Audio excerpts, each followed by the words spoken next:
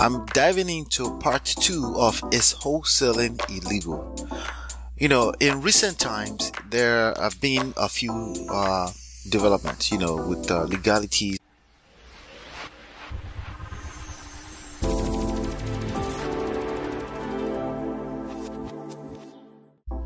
This is Ola coming to you live from my Empire Pro studios. We're back in the studio. On this episode, I'm diving into part two of Is Wholesaling Illegal?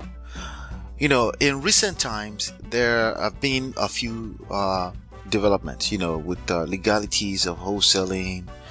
Uh, honestly, it's not really a development on legalities, but what's required to be able to wholesale okay and it's very very important for me to distinguish between these two for you uh, on the previous episode of this you know i did a part one version of this which in which i talk about uh, the new developments uh, with regards to uh, compliance in the state of illinois maybe one other state or something like that and i made it very clear that wholesale wholesaling real estate will never be illegal okay uh, just the profession as a profession would never be legal. Just like wholesaling, the key term, wholesale. Never mind real estate for a second, okay?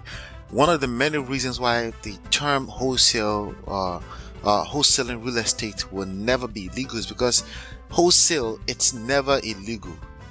In the world of free enterprise, in the world of capitalism, in the world of uh, freedom of trading between people, trading value, value for value, right?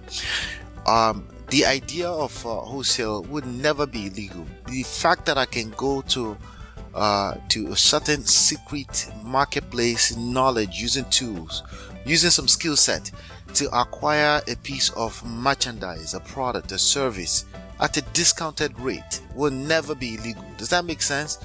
So when I come and tell you straight up, like, no, it's never going to be illegal, I want you to take my word for it uh, there are quite a few things that I factor in place. You know, I factor never cheating, never stealing, never lying.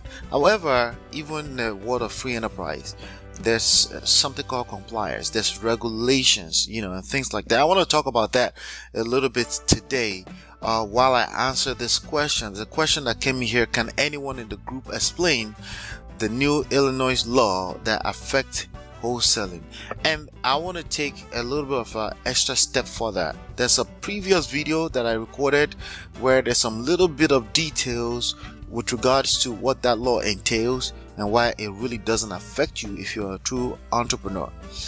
So with that being said like i just said wholesaling as a concept of trading as a concept of entrepreneurship as a concept of uh, commerce e-commerce will never like the idea that you can go to uh, you can go to uh, alibaba.com and get something for cheap and sell it for a higher price at a margin a profit margin here in the united states will never be illegal.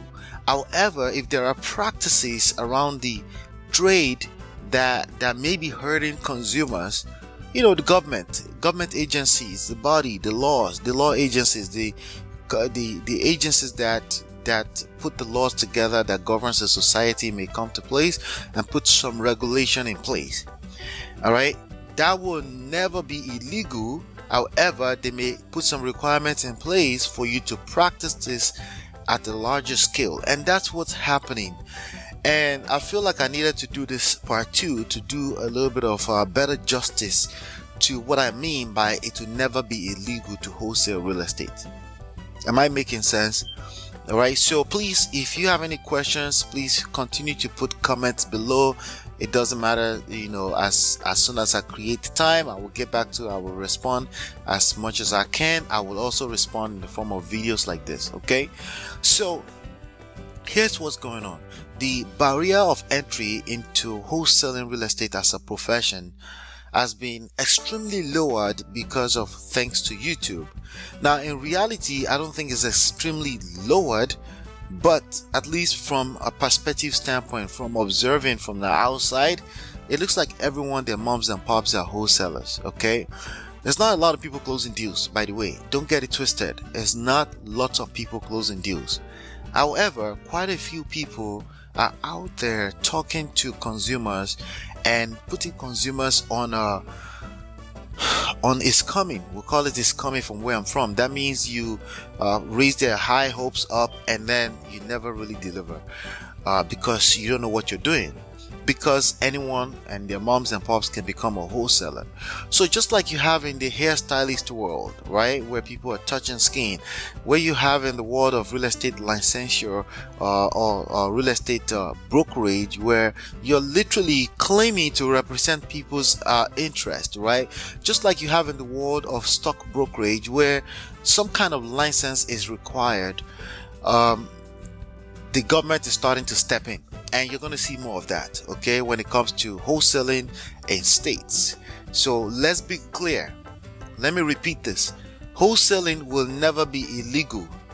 The license is required to participate in wholesaling real estate as a profession.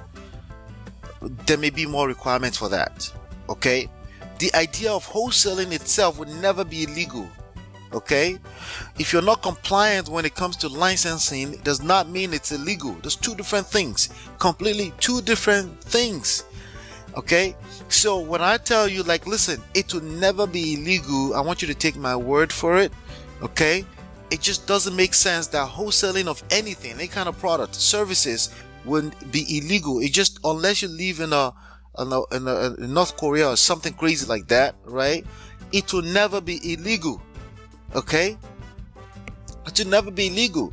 Even in some african countries like nigeria like um, you know some countries where there are serious oppressions going on where they can't come out in public and protest it's in their law that it's ille- that is is legal it's a legal thing to do. Yes they may oppress them but it still remains a fact that it's not illegal to practice it.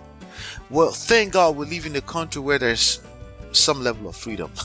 At least, probably the highest form of freedom you can see anywhere on this planet, you can find the United States.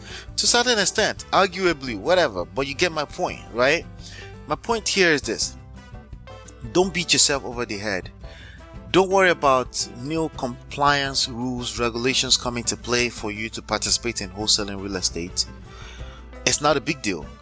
As an entrepreneur, you're supposed to be ready for this kind of uh, minuscule regulation obstacles you know this is just an obstacle just another one okay?